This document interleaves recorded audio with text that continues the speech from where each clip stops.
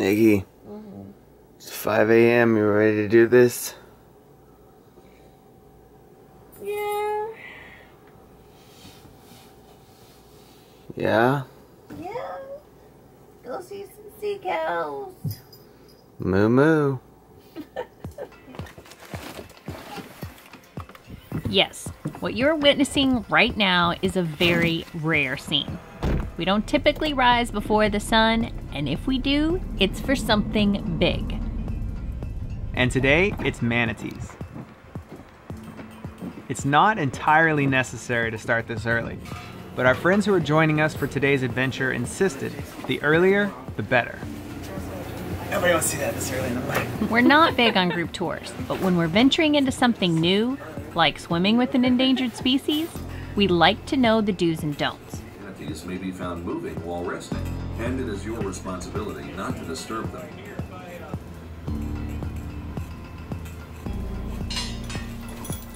Saw one cute little nose come up and get some air there. There's another one. I don't think I've ever been in the water before the sun has been fully up. So, it's gonna be chilly. I'm not going first. Grab this thing. That doesn't look awesome. I don't know We need to watch does. movies. We got from guys now we're on whisper mode. So we're all okay. Whisper. Yeah, whisper. Be a whisper. Wait a minute, I'll do the. I gotta watch the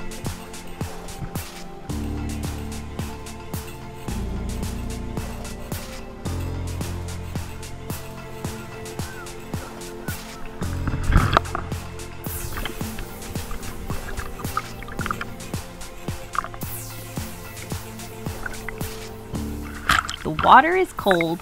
My energy and excitement levels are through the roof. And right now, all I've got is a few sleeping manatees. Sure, they bob to the surface every 15 minutes or so for a breath, but I wouldn't call this exciting. Maybe it's a little too early for them, too. Or maybe it's that they spend approximately 50% of the day sleeping.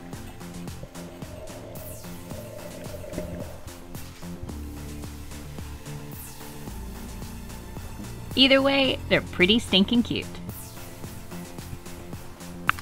Right now, I can't think of another half ton mammal I'd want to be this close to. Luckily, they don't seem to mind being surrounded by all of us.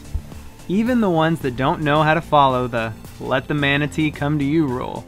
Like that person who is not with our group.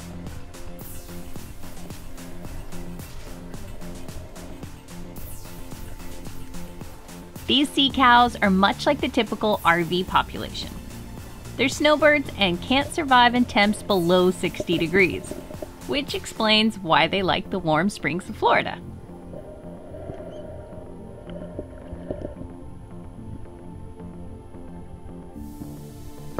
This is our friend Brandon. He's the one that convinced us to get up early for all this. Which, at this point, we're wondering if it was really all worth it. And then it happened. A mama and a calf turned and headed straight for us.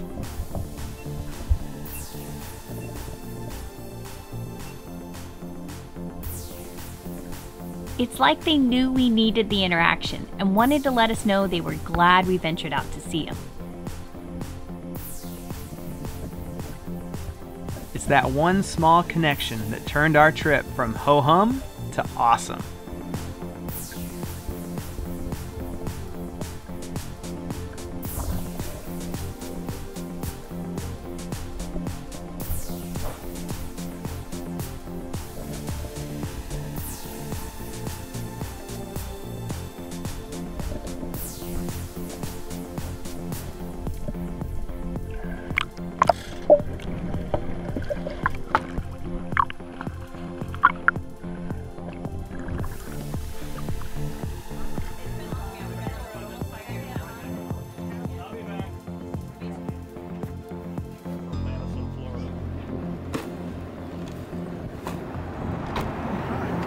Where are we?